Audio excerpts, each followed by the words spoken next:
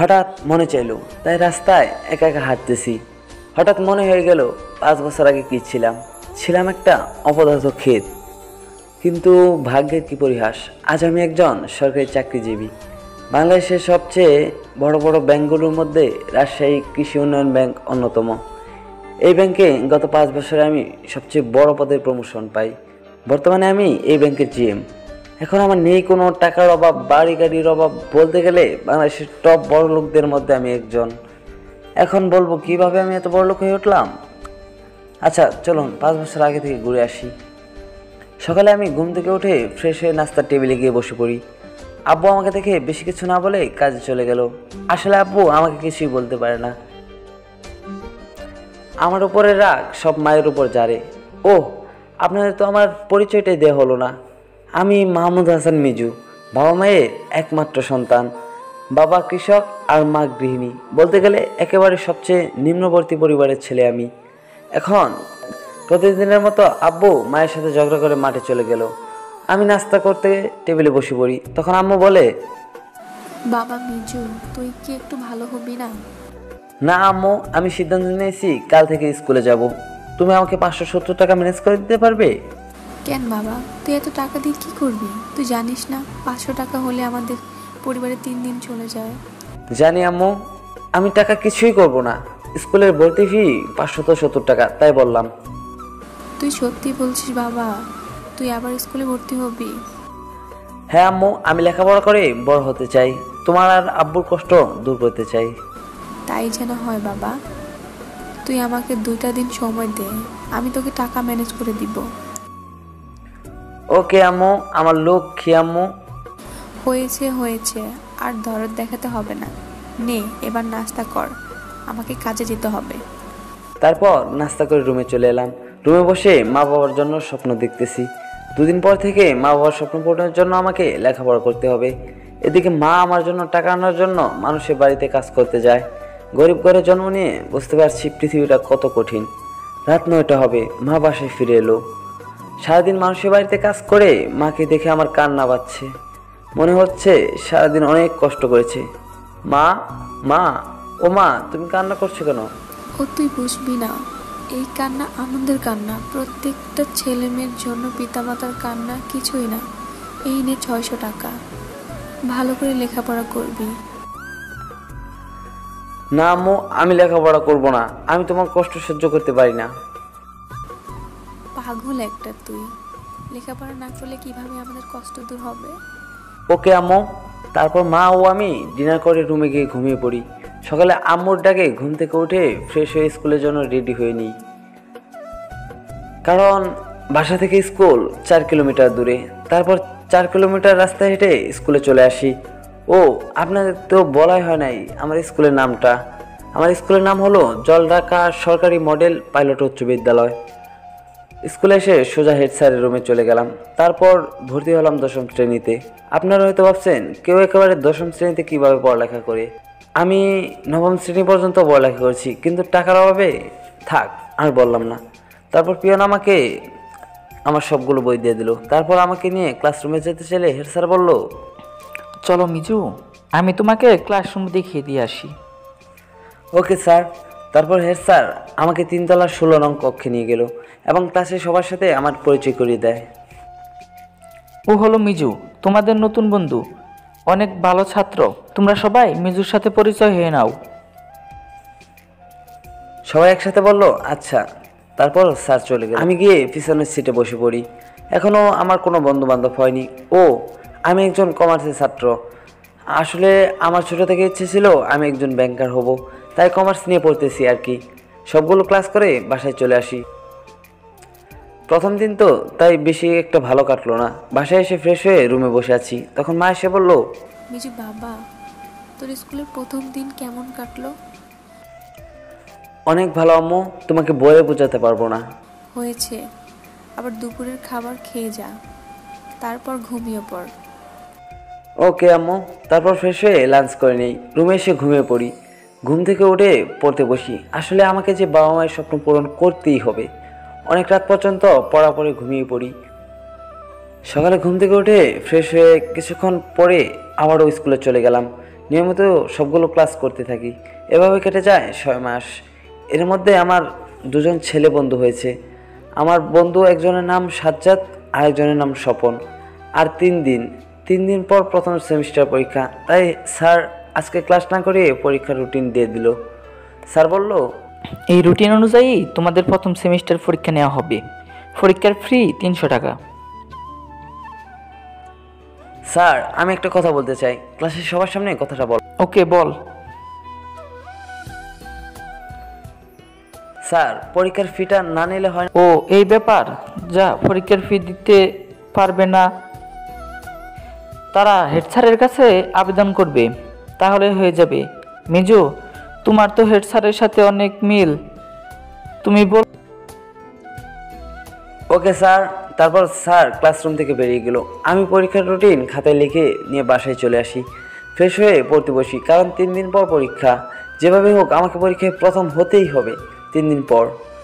আজকে প্রথম সেমিস্টার পরীক্ষা, তাই সবাই সেজে গুজে নামি দামি পোশাক পরে পরীক্ষা দিতে এসেছে। শুধু আমি প্রতিদিন যে শার্ট গায়ে দিয়ে স্কুলে আসি আজও সেই শার্ট গায়ে দিয়ে পরীক্ষা দিতে এসেছি। পরীক্ষার রুমে ঢুকতে যাব তখন ওই একটা মেয়ের সাথে ধাক্কা লাগে। মেয়েটা ধাক্কা খেয়ে মাটিতে পড়ে গেল। তারপর মাটি থেকে ছোট লোকের বাচ্চা চোখে দেখতে পাস না তুই আমাকে ধাক্কা দিলি কেন? সরি মেয়েটা ঠাস ঠাস করে আমার গালে চর মারে এবং আমার জামার কলার ধরতে যাবে তখন ওই মেয়ের একটা ফ্রেন্ড চলে আসে। এসে বলতে লাগল তুই ঠিকই বলেছিস লিজা। এই খ্যাত ছেলেটার গায়ে হাত দিলে আমার সম্মানটা নষ্ট হয়ে যাবে। দেখিস না, গা থেকে কিরম দুর্গন্ধ বেরোচ্ছে। কোথা থেকে এরকম খ্যাত ছেলে যে স্কুলে আসে? ছি ছি। মেয়ে দুটা কথা শুনে আমার চোখে পানি চলে এলো। কারণ স্কুলের সবাই আমাকে নিয়ে অনেক মজা করছে। কারণ আমি গরিব বাবা মায়ের সন্তান। প্রতিদিন একটা জামা কাপড় পরে স্কুলে আসি। আর গেটের মধ্যে ঘটে যাওয়া সমস্ত ঘটনাটা দোষ ছিল মেয়েটার নিজের। মেয়েটা নিজে এসে আমাকে ধাক্কা দিয়েছিল। কি আর করার, আমি গরিব। আমি চাইলে বড়লোক বাবার মেয়েদের কিছুই করতে পারব না। আমি তো এই স্কুলে ভর্তি হয়েছি বাবা মায়ের স্বপ্ন করার জন্য। তাই চুপচাপ দাঁড়িয়ে তাদের কথা শুনতে লাগলাম। মেয়েটার আরও কিছু কথা শুনে পরীক্ষার রুমে চলে গেলাম। আমি আমার সিট খুঁজতে লাগলাম। অবশেষে আমার সিটটা পেয়ে গেলাম। আমার পাশের সিটে একটা মেয়ে বসে আছে। মেয়েটাকে দেখতে শুনতে একদম সিনেমার নায়িকাদের মতো। যে কেউ প্রথম থেকে ক্রাশ খেয়ে যাবে। আমি আবার এসব কুখাদ্য খাই না। আমি গরিব একটা খ্যাত ছেলে। এই স্কুলের সবার মজার পাত্র। তাই সিটে মাথা নিচু করে বসে আছি। তখন আমাদের দুজনের নীরবতা ভেঙে মেয়েটি বলে উঠল হাই আমি কানিজ। আমি চুপচাপ বসে আছি কারণ কোনো কথা বলার শ্বাস পাচ্ছি না। তখন মেয়েটি আবারও বলল হাই আমি কানিজ। আমরা কি ফ্রেন্ড হতে পারি? আমার কোনো রেসপন্স নেই। আসলে মেয়েদের সাথে কথা বলতে আমার ভয় লাগে। মেয়েরা কখন যে কি করে তা বোঝাই যায় না। তাই বেশ কিছুক্ষণ ভেবে আমি বললাম হ্যালো আমি মিজু তাহলে আমরা ফ্রেন্ড আমি চুপচাপ। এই যে মিস্টার শুধু বন্ধুত্ব করতে বলছি বিয়ে তো করতে বলছি না। আমি কিছুক্ষণ ভেবে মেয়েটার সাথে হাত মিলিয়ে নিলাম। মেয়েটাকে দেখে মনে হলো অনেক বড় লোক কিন্তু কোনো অহংকার নেই। তখন ওই ক্লাসরুমে স্যার চলে আসলো। এই তোরা কেউ নকল এনেছিস নাকি? থাকলে এখনই বের কর ধরা পড়লে খবর আছে। স্যার এই খ্যাত ছেলেটা মনে হয় নকল এনেছে। কি বলো নীলা? এসব তুমি? মিজুকে তুমি চেনো? ও অনেক ভালো ছাত্র। ওর মতো এমন ছেলে নকল করতেই পারে না। তখন নীলা চুপচাপ নিজের সিটে মাথা নিচু করে বসে পড়ল। এদিকে স্যার পরীক্ষার খাতা দিতে শুরু করল। আমি পরীক্ষার খাতায় নাম লিখে নিলাম। তারপর স্যার পরীক্ষার প্রশ্ন দিল। পরীক্ষার প্রশ্ন থেকে আমি পুরাই অবাক, কারণ সবগুলো প্রশ্নই কমন আমি নিজ মনেই পরীক্ষা দিতে লাগলাম। অবশেষে পরীক্ষার এক ঘণ্টা আগেই আমার পরীক্ষা শেষ হয়ে গেল। তারপর কানিসকে কিছু হেল্প করে স্যারকে খাতা জমা দিলাম। আমার খাতা জমা দিতে দেখে ক্লাসে সবাই হাসতেছে, কারণ পরীক্ষার মাত্র এক ঘণ্টা দশ মিনিটের মধ্যেই আমার পরীক্ষা শেষ। আর এটা কেউ ভাবতেই পারেনি। তখন স্যার বলল মিজু তোমার পরীক্ষা শেষ? জি স্যার। স্যার বলেছিলাম না ও নকল এনেছে তা না হলে এত তাড়াতাড়ি কেউ পরীক্ষা শেষ কি করে দিতে পারে? নীলার কথা শুনে সবাই জোরে জোরে হাসতে লাগল। আমি চুপচাপ পরীক্ষার খাতা জমা দিয়ে বাসায় চলে আসলাম। এভাবে সবগুলো পরীক্ষা শেষ আরেকটা পরীক্ষা আজকে শেষ পরীক্ষা। আজকের পরীক্ষা হলো হিসেব বিজ্ঞান। তাই একটু মনোযোগ সহকারে ভালো করে পড়ে নিলাম। তারপর শেষ হয়ে স্কুলে গেলাম। স্কুলে আসতেই আরোহী আমাকে দেখে আমার কাছে দৌড়ে চলে আসে। তারপর হাই বন্ধু কেমন আছিস? ভালো রে তুই? এই তো। আজকে আমাকে একটু দেখাতে হবে কারণ আমি হিসাব বিজ্ঞানের খুব কাছা। দেখাবি কিন্তু। আসলে এই কয়েকদিনে আরোহী আমার সব থেকে বেস্ট ফ্রেন্ড হয়ে ওঠে।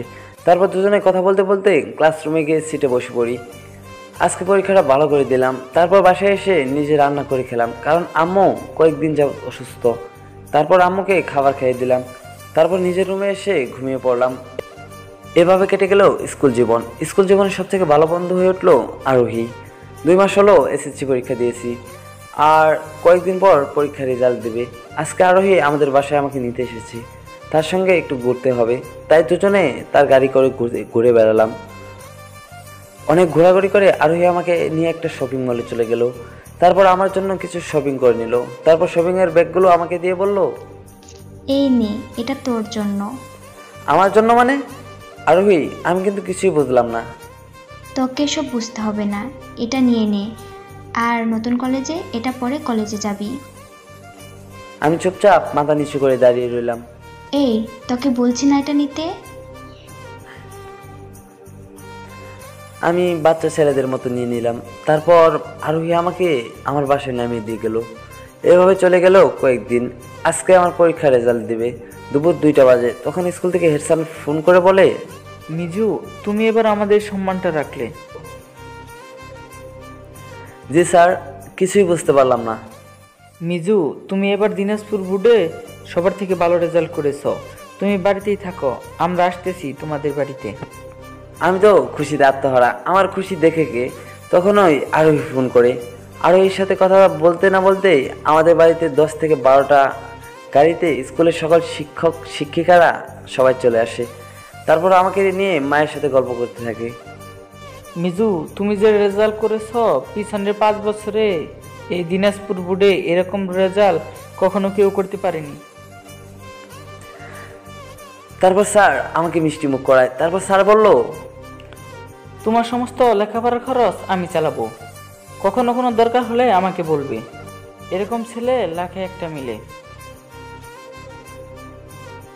আরও কিছুক্ষণ গল্প করে সবাই চলে গেল। তখন মা আমাকে জড়িয়ে কান্না শুরু করে দেয়। আমি খুশিতে চোখের পানি আটকাতে পারলাম না। আমি যেরকম রেজাল্ট করব তা জীবনে ভাবতে পারিনি। এবার কলেজে ভর্তি হওয়ার পালা। এদিকে আমার রেজাল্ট দেখে স্কুল থেকে স্কলারশিপ দিয়ে নীলফামারী সরকারি কলেজে ভর্তি করিয়ে দেয়।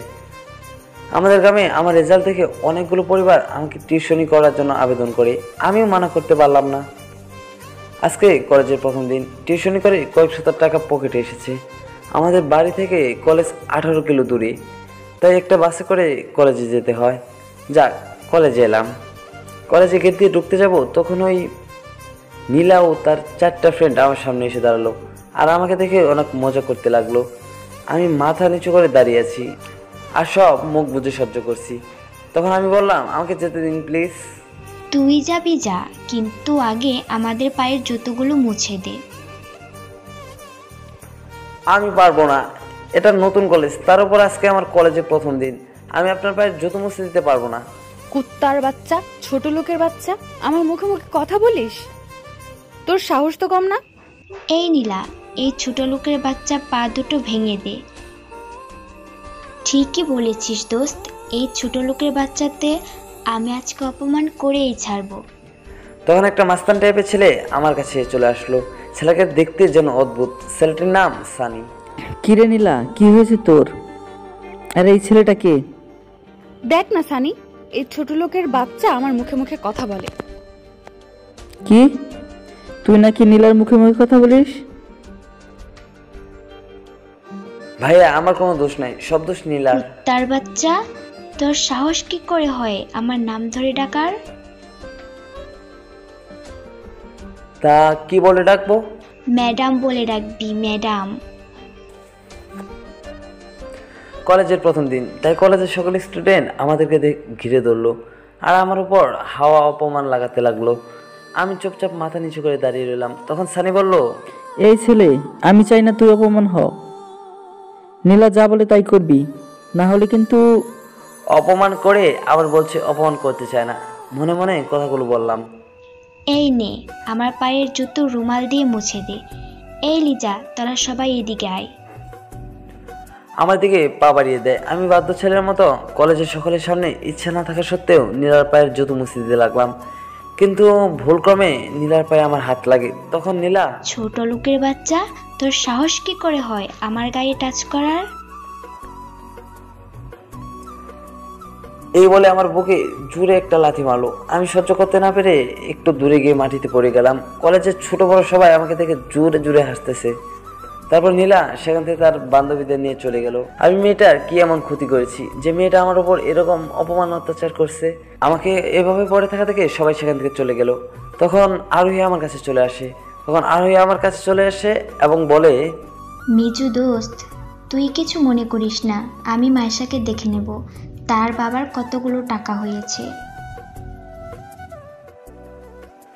তারপর দুজনে মিলে প্রিন্সিপাল স্যারের রুমে চলে গেলাম। তখন প্রিন্সিপাল স্যার আমাকে দেখে আরে তুমি মিজু না? জি স্যার।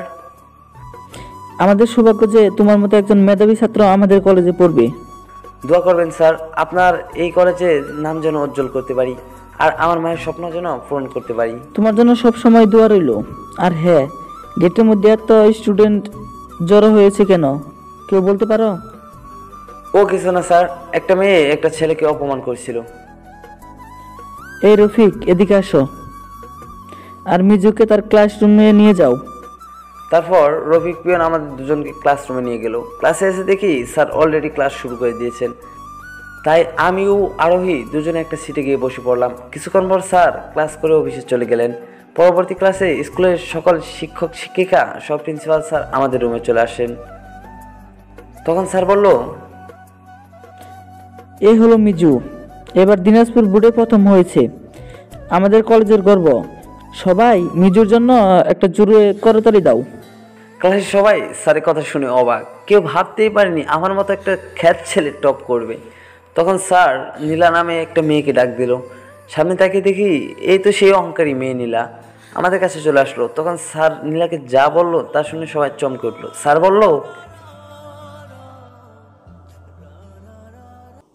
বন্ধুরা, পরবর্তী পার্টগুলো খুব তাড়াতাড়ি আসবে। তো পরবর্তী পার্ট না আসা পর্যন্ত অপেক্ষায় থাকো। যারা এখনও আমাদের চ্যানেলটি সাবস্ক্রাইব করনি, সাবস্ক্রাইব করে পাশে থাকা বেল আইকনটি বাজিয়ে দাও। পরবর্তী পার্টগুলো সবার আগে পেতে ধন্যবাদ। আমাদের সাথেই থেকো।